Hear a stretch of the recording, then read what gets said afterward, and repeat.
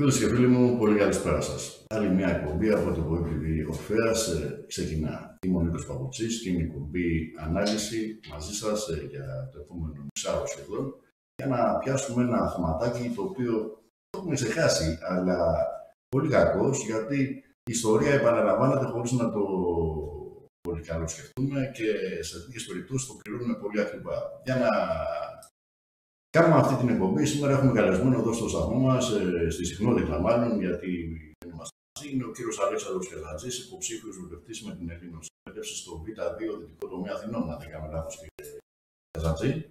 Καλησπέρα σας. Καλησπέρα κύριε Παπουτσί, καλησπέρα σε όλους τους τηλεθεατές και τηλεθεάτριες του Web TV Ορφαία. Όπως είπα κύριε Καζατζή, μιλάμε, θα μιλήσουμε για για μίζες, για, για, για μίζες, για Siemens, για κάτι που το έχουμε ξεχάσει. Ένα σκάνδαλο το οποίο ε, θα είναι από αυτά τα οποία μας ε, οδήγησαν και μαθηματικά στην χρεοκοπία, έτσι όπως με προγραμμάτιζαν οι κυβερνώντες και όλα αυτά τα οποία έγιναν ε, μας έφεραν ένα απεχθές χρέος, το οποίο και σήμερα εμείς το λουζόμαστε, έχουμε μπει σε μνημόνια κτλ. Ωστόσο, τι έχει γίνει με τη Siemens, έχει περάσει αρκετό χρονικό διάστημα. Ε, έχουν συμβεί πάρα πολλά. Θα ήθελα να κάνετε μια μικρή είσοδο, να δούμε, ε, να μας πείτε για πότε ξεκίνησε αυτή η διαπλοκή και τι μένει γενέστε, τι έχει γίνει, ας πούμε, μέχρι σήμερα. Ευχαριστώ κύριε Βαρουτσί. Το σκάνδαλο Siemens στην Ελλάδα είναι μια υπόθεση που αφορούσε ενδεχόμενο χρηματισμό Ελλήνων πολιτικών και στελεχών δημοσίων οργανισμών όπως ο ΟΤΕ από την γερμανική εταιρεία Siemens σχετιζόμενο με συμβάσεις, προμήθεια υλικών, υπηρεσιών και συστημάτων στο ελληνικό δημόσιο. Η υπόθεση ερευνάται από το 2008 τόσο από την ελληνική δικαιοσύνη όσο και από μια εξεταστική επιτροπή του Ελληνικού Κοινοβουλίου σε συνεργασία με τις γερμανικές δικαστικές αρχές του Μονάχου. Η δίκη για τα μαύρα ταμεία της Siemens ξεκίνησε στο τριμελές εφετείο τουργημάτων τον Φεβρουάριο του 2017. 11 χρόνια μετά την έναρξη, την έναρξη της έρευνας στην Ελλάδα, με συνολικά 64 κατηγορούμενους Έλληνες και Γερμανούς, μεταξύ των οποίων πρώην στελέχη του ΟΤΕ που φέρονται ως αποδέκτες μαύρου χρήματος. Το σκάνδαλο αποκαλύφθηκε όταν έγινε γνωστό στη Γερμανία ότι η Siemens δαπάνησε 1,3 δις ευρώ σε αμφιλεγόμενες πληρωμές δωροδοκίες για να εξασφαλίσει συμβόλαια σε διάφορες χώρες μεταξύ των ετών 1999 και 2006. Τελέχη της Siemens έχουν ισχυριστεί ότι συνολικά το ποσό των 130 εκατομμυρίων μάρκων έχει δοθεί σε Έλληνες. Να σας πω κύριε Αντζή, ότι καταρχήν να μας πείτε ποιοι ήταν αυτοί αρχικά εμπλεκόμενοι όπου ξεκίνησε όλη αυτή η ιστορία. Ε, και είναι κάτι το οποίο νομίζω έχει ε, τελεσιδική συνδίκη στη Γερμανία όσο αφορά το θέμα. Έχει δικαστεί ζήτηση. Παρακαλώ. Ναι, έχει δικαστεί. Σίγουρα ξέρουμε ότι έχει δικαστεί και το ελληνικό κοινοβούλιο. Θα το δούμε παρακάτω. Τους έχει βγάλει αυτός όλους. Αλλά στα δικαστήρια υπάρχουν ακόμα όμως ε, η δίκη δεν τελείωσε. Οι πρώτοι επτά εμπλεκόμενοι, κύριε Παπουτσί, ξεκινώντας από τον Μιχάλη Χριστοφοράκο, ο οποίος κατηγορήθηκε με την καταγγελία περί λαδώματος πολιτικών προσώπων αναφορικά με τη σύμβαση του ΟΤΕ. Επόμενος, ο πρόδρομος Μαυρίδης ε, ανέλαβε καθήκοντα Γενικού Διευθυντή, κατηγορήθηκε για χρηματισμό πολιτικών προσώπων, δημιουργώντας υπεράκτιες εταιρείες μέσω της οποίας υπήρχε χρηματισμός μαύρου χρήματος. Νομίζω ότι κάτι μου θυμίζει. Είχαν ακουστεί πάρα πολλά σχόλια τότε για τον Πρωθυπουργό του σημερινού, τον κ. Μητσοτάκη. Τότε δεν ήταν, όπω να κάνω λάθος. Ε, και για χρήμα που γεννοχόταν για offshore εταιρείες. Η γυναίκα που εμπλεκόταν, η κυρία σύζυγός του, αλλά για πες θα μας εδώ τι, τι Να συνεχίσουμε τώρα με αυτούς τους 7 καταρχήν και μετά θα προχωρήσουμε στα πολιτικά πρόσωπα. Ο επόμενος είναι ο πρώην αναπληρωτής διευθύνων σύμβουλος του ΟΤΕ Γιώργος Καρπέλης, ο οποίος έχει κάνει δήλωση περί χρηματισμού πολιτικών προσώπων των δύο μεγάλων κομμάτων. Ενώ για τα 3,8 δις που βρέθηκαν σε λογαριασμό του στην Αυστρία, υποστηρίζει πως δεν είχε γνώση αυτού του λογαριασμού. Αν είναι δυνατόν δηλαδή να έχεις το λογαριασμό σου 3,8 δις και να μην το ξέρεις. Επομένω, ο Ηλίας Γεωργίου, Γενικός Διευθυντής της Siemens μέχρι το 1998. Γνωστός και με το όνομα, το ψευδόνυμο, μάλλον Σάμος. Κατά τις μαύρες συναλλαγές που ισχυρίστηκε ότι μέχρι το 1999 οι ειδικές πληρωμές δεν ήταν παράνομες, παράνομη πρακτική. Ο κύριος αυτό δηλαδή, οι ειδικές πληρωμές είπε ότι δεν ήταν παράνομη πρακτική. Μάλιστα.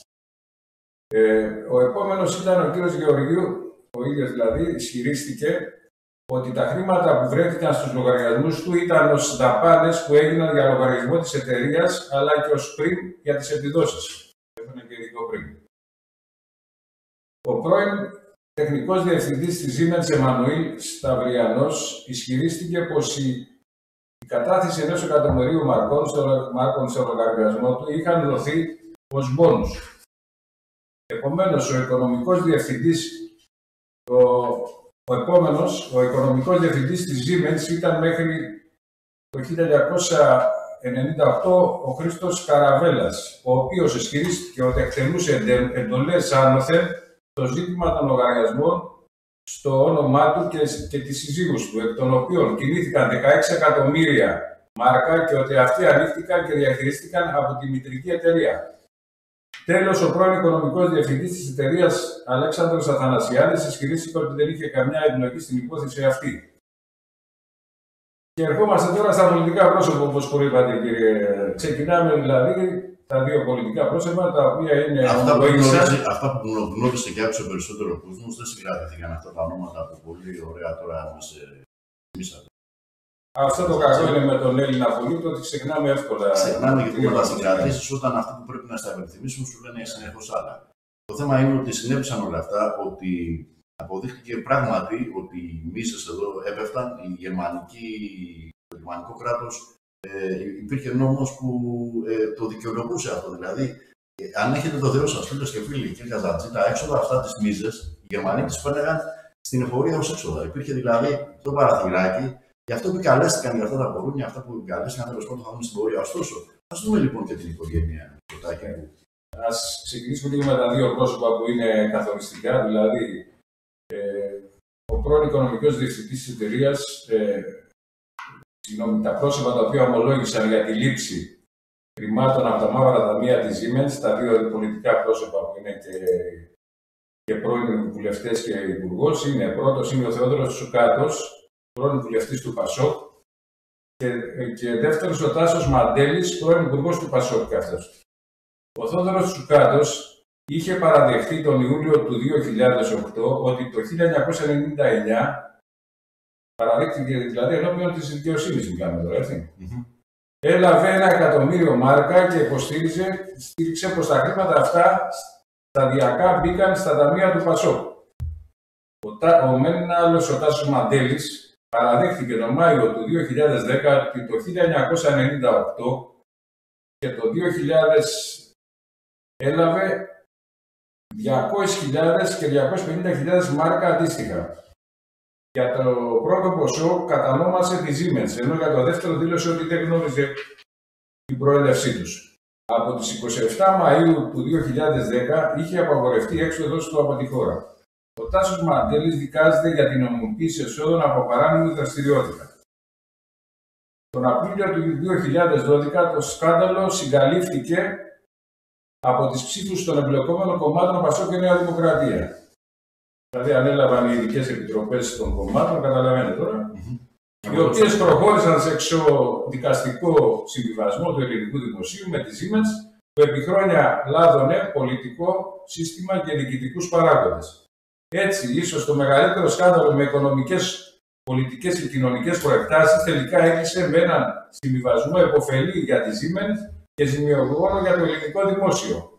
Από πλευράς δικαιοσύνης, ακόμη δεν έχει ολοκληρωθεί η ανάκριση. Καταλάβατε κάτι, κύριε Παπουτσί. Καταλάβαμε, εννοήσαμε πολλά, γιατί είπαμε ότι πρέπει να τα ξαναρθούν στο τράπεζι. Αυτό είναι ένα σκάνδαλο, κύριε Καζατζίκουλε και φίλοι, το οποίο προηγείται των δημοσίων. Είναι δηλαδή από αυτά που μας έσπρωξαν ονόλευτο, θα έλεγα. Ε, δεν έχουν αποδοθεί ακόμα σήμερα ευθύνες στη χώρα μας, ίσα ίσα χρυσώνουμε το χάπι. Ε, θα ήθελα όμως εδώ να κάνουμε μια μικρή παύση, να βάλουμε μια ανωτελεία και επιστρέφοντας να δούμε αν τελικά η Γερμανία εμπλέκονται και ζει πίσω από αυτή τη ε, τιμωρία των ε, ακόμα προσώπων ε, και με ποιο τρόπο αν μπορούμε.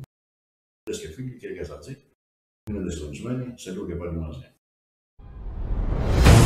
Ήρθε η ώρα της αναγνώρισης. Ο Ελάνιος Κόσμος 600, πρώτη έκδοση. Ο ιερός κωδικός αριθμός και η δομή, η σύσταση του κόσμου 600. Το μοναδικό βιβλίο βιωματικής ανάλυσης που έχει γραφτεί για την ανθρωπότητα, για να καλύψει και να απαντήσει όλα τα κενά και τα ερωτήματα για τη δημιουργία του κόσμου. Τώρα ήρθε η ώρα. Ορίμασε ο καιρός να εμφανιστεί η ανάλυση και η διάσπαση του Ελάνιου κόσμου 600, Αρτέμις Ώρας. Ένα βιβλίο μοίησης και αναγνώρισης της αλήθειας, γραμμένο κάτω από συνθήκες ομοιρίας του ίδιου του δημιουργού, 13 Δεκεμβρίου 2010 Όλοι μπορούν να αναγνωρίσουν το μεγαλείο του κόσμου τους ως μοναδικό, αληθινό, δικό τους μεγαλείο, Αρτέμις Ώρας. Κάνε την παραγγελία σου τώρα και πάρε στα χέρια σου το βιβλίο «Ο Ελάνιος Κόσμος 600» με το δικό σου μικρότερο αριθμό σειράς που είναι μοναδικός από την πρώτη έκδοση. Παρήγγειλέ το στο www.κοσμοθέαση.com Επιστρέψαμε και πάλι για να συνεχίσουμε την ε, ωραία αυτή ανασκόπηση σε μια πάρα πολύ άσχημη κατάσταση την οποία βιώσαμε, δεν έχει τελειώσει ακόμη και είναι ικανή για μένα να μας βγάλει και μόνο αυτή να μας έβαζε ε, από μια δυσμενή κατάσταση όπως είναι το μνημόνιο γιατί μπήκαμε μέσα στο μνημόνιο με μπουρδες και με επαχθές ε, σκάνδαλα, ε, σκάνδαλα λέω, ε, χρέη που μας φόρτωσαν όλοι αυτοί που κυβερνούσαν μέχρι τότε και φρόντισαν να συνεχίσουμε και σημερινή. Κύριε Καλατζή, όμως είχαμε αρχίσει να ξεδιλούμε το κουβάρι και είχαμε φτάσει στην οικογένεια Μητσοτάκη, αφού είδαμε ποιοι εμπλεκόμενοι κτλ. Ε, είπαμε ότι η οικογένεια Μητσοτάκη έχει λοιπόν και εδώ πέρα το αποτύπωμά της. Για να δούμε και να, να δούμε και πώς έχει μετά και η Siemens. Ε, να βοηθάει, αν βοηθάει τροποτινά τους ε, εμπλεκόμενους, ω Χριστοφοράκο να διαφύγει από, τη, από την νομική ας πούμε, δίωξη που έπρεπε να έχει. Ε, βλέπουμε εδώ ένα οικόπεδο αξίας 1,5 εκατομμυρίων ευρώ αγοράστηκε για 62.486 από την οικογένεια Μητσοτάκη, συγκεκριμένα από τη σύζυγό του, η Μαρέβα Γκραμπόφσκι. Η offshore εταιρεία που το πούλησε λέγεται Nistras Holding Limited με έδρα το φορολογικό παράδεισο του Αγίου Βικεντίου για αφημί 800-366 το διπλανό οικόπεδο στη Μαγευτική Τίνο το αγόρασε ο Μιχάλης Χριστοφοράκος στη Siemens με 810.000 ευρώ.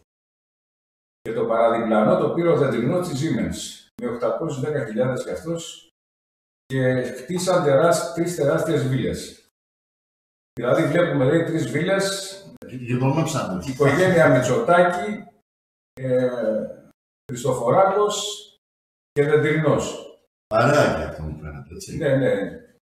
Υπενθυμίζουμε ότι κύριε, η κύριοι Χρυσοφοράκος και Δεντρινός ήταν διαχειριστής των μαύρων ταμείων της Siemens. Πρόκειται για offshore εταιρεία η οποία σύμφωνα με πληροφορίες της εφημερίδας Contrast News στήθηκε από διαχειριστές των μαύρων ταμείων της Siemens προκειμένου να ξεπλύνουν μαύρο χρήμα από τις μίζες μέσω της αγοράς οικοπαίδων φιλετών στα ελληνικά νησιά.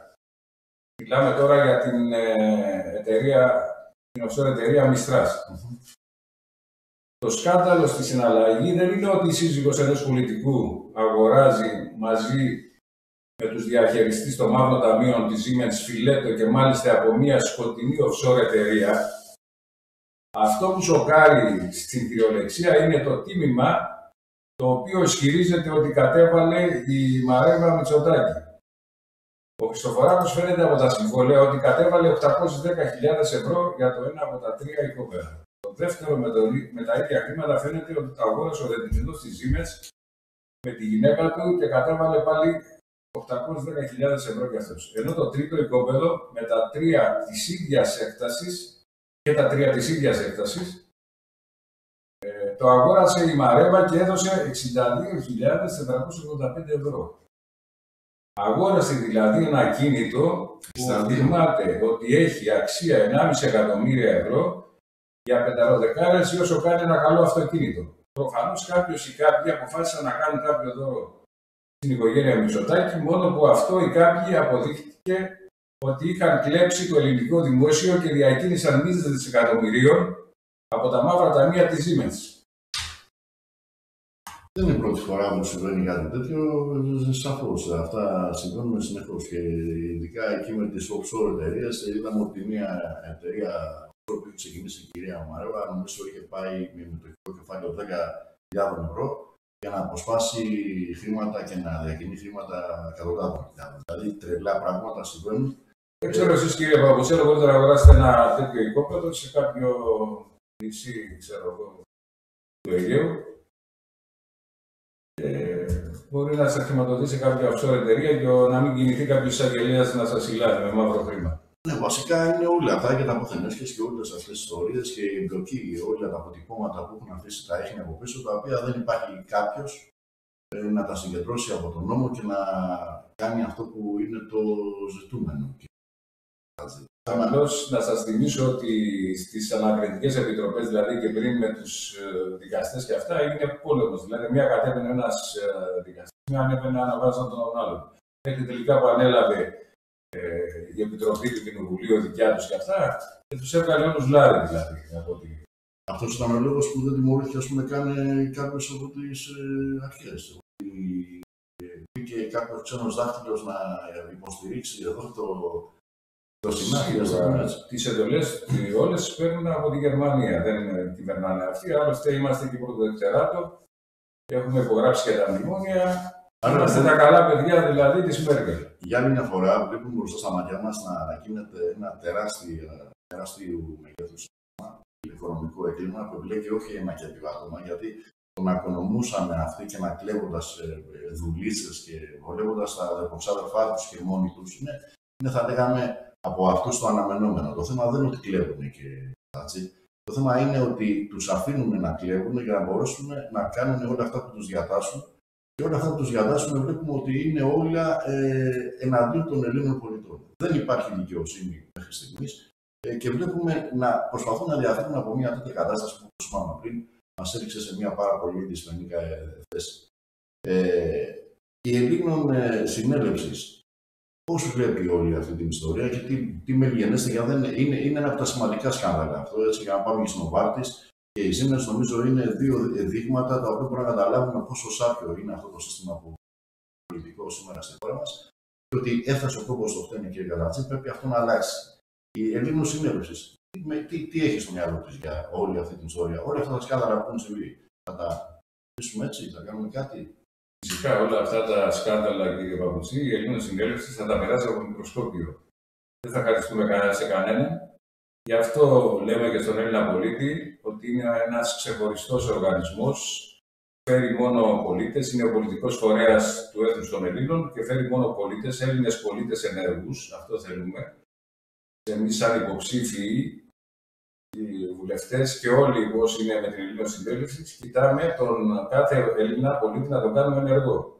Αν ο Έλληνας πολίτης δεν ενεργοποιηθεί και γνωρίσει τα πάντα, δηλαδή τα νομικά, ξέρει γιατί, πώς να αντιμετωπίσει το καθετή, δηλαδή τα δικαιώματά του, και αυτό μόνο θα το βρει μέσα από την Ελλήνων Συνέλευση, η οποία είναι ένας τεράστιος οργανισμός με τεράστιο αξιακό, με αρχές, με αξίες, με νομοτελειακούς νόμους, το οποίο θα αποδοθεί σε όλους τους Έλληνες με την, από την επόμενη μέρα, αφού του πάρουμε την Ελλάδα, έρθουν όλοι οι Έλληνες πολίτες, όλοι οι Έλληνες πολίτες, τα αδέλφια μας, συστρατευτούν μαζί μας, το όχημα της Ελλήνων Συνέλευσης, που όπως είπαμε θα φέρει μόνο Έλληνες πολίτες, και όλο, κάθε Έλληνας πολίτης έχει το δικαίωμα να πολιτευτεί να έρθει να ψηφίσει, να ψηφιστεί, να πάρει θεσμικές θέσεις στην πατρίδα του, να διώξουμε όλους αυτούς τους απαταιώνες, όλη αυτή τη συμμορία των 302 που λυμαίνονται τα πάντα και κοροϊδεύουν τον Έλληνα πολίτη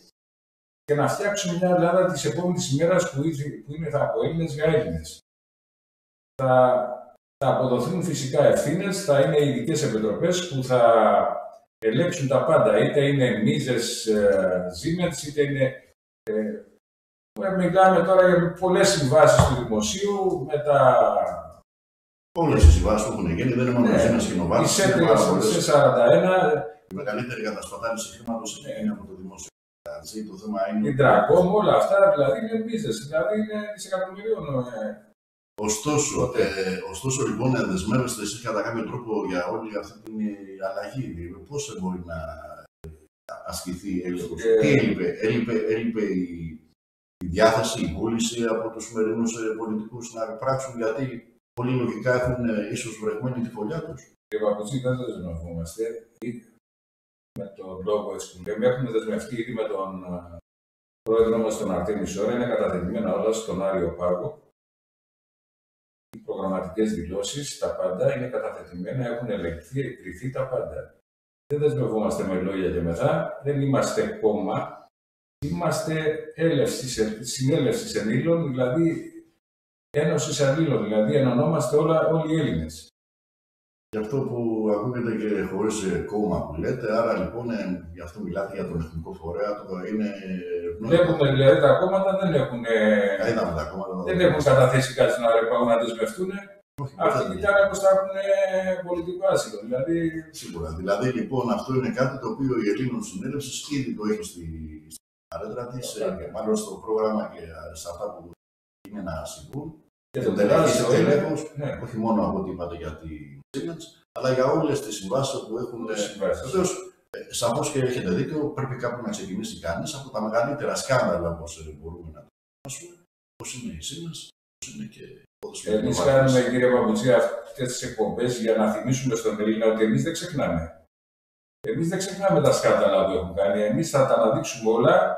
Το ζήτημα είναι να έρθει ο Έλληνας πολίτης μέσα στα γραφεία μας να γνωρίσει, να δει τα πάντα και να δει και τα τεράστια οικονομικά εργαλεία που είναι κληρονομικός πλούτος. Δικά μας λεφτά των Ελλήνων είναι. Που δεν τον αναδείξαν αυτοί οι αλήτες τώρα. Οι προδότες 60 χρόνια τώρα δεν αναδείξαν τα παγκόσμια ταμεία, δεν είναι το, Εδώ με τόσο κόπο, κύριε Καλατζή, ε, δημιούργησαν όλο αυτό το χρέος για να μπορέσουν να μας βάλουν στο μνημόνιο με τόσο έντεχνα.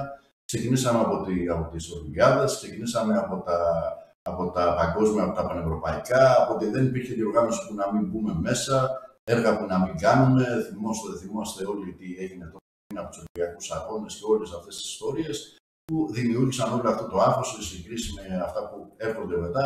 Δεν είναι τόσο αθώα η εποχή, από εκεί ξεκινάνε όλα. έχουν παραδώσει την κυριαρχία που Μα δεν θα το κυριαρχία και το, το πιστόλι να σου βάλουν στο κρόταφο, δεν υπογράφεις. Παραδίδεις την πατρίδα σου, εν λευκό. Ειδικά, ειδικά όταν ε, ο, οι ίδιοι οι πολίτες έχουν ψηφίσει όχι στο, εκείνο στο αμη- ανάρμοστο ναι και Ναι, όχι. επί που Τσίπρα, ψηφάγανε, ναι. τέλος πάντων, ο πολίτης είπε όχι και αυτό εκεί φάνηκε τελικά όπως Και έχω πει μιλάμε- πόσο κάλπικη είναι η κάλπη.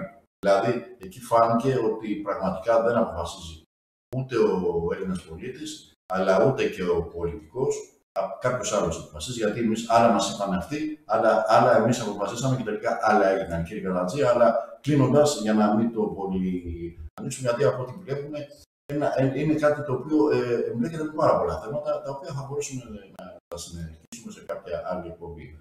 Ε, Απλώς ένα τελευταίο θα πω ότι εμείς όλοι με τα αδέρφια μας θέλουμε να συστατευτούν μαζί μας και στις επόμενες εκλογές να έχουμε 24.000 εκλογικά τμήματα έχει. Να, να έχουμε δηλαδή κάθε Έλληνα πολίτη της Ελλήνων Συνέλευσης να μετρήσουμε όλα, όλους τους ψήφους για να μην υπάρχει αυτή η κλοπή που γίνεται. Και τότε θα δούμε την επόμενη μέρα αν όλα αυτά που λέμε θα γίνουν και αν δεν τηρήσουμε τις υποσχέσεις μας. Θα μείνουμε σε αυτό. Ένα α, κάλεσμα σε όλους τους πολίτες από ό,τι ακούσατε φίλες και φίλοι, ούτως ώστε να θωρακίσουμε το εκλογικό αποτέλεσμα οτιδήποτε και αν ψηφίσει κανείς. Καλό είναι μια φορά να κάνουμε κανονική καταγραφή και να γνωρίζουμε ποιος ψήφισε τι. Γιατί από ό,τι ξέρουμε είναι λίγο θολό το τοπίο έως πολύ μεγάλη η θολούρα που έχει. Έχουμε πάρα πολλές μαρτυρίες επί τούτου.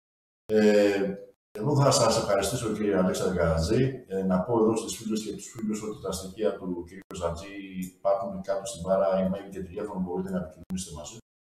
Κύριε Καζατζή, Θα πρέπει ο Έλληνα πολίτη να μην φοβάται. Εμείς είμαστε εδώ σαν Ελλήνο Συνέλευσης να το σηκώσουμε από γονατιστό, να το σηκώσουμε να γίνει πολεμιστής για να διώξουμε τους κλέφτες της πατρίδας μας. φίλες και φίλοι, ο τρόπος προφανώς και υπάρχει. Το θέμα είναι τι κάνουμε εμείς, τι κάνω εγώ, τι κάνεις εσύ. Κύριε Αλέξανδρε Καρατζή, ευχαριστώ πάρα πολύ για τη συμμετοχή στην εκπομπή. Φίλες και φίλοι, ευχαριστώ πάρα πολύ που ήσασταν και εσείς μαζί μας. Μέχρι την άλλη φορά, να είστε όλοι καλά. Γεια σας.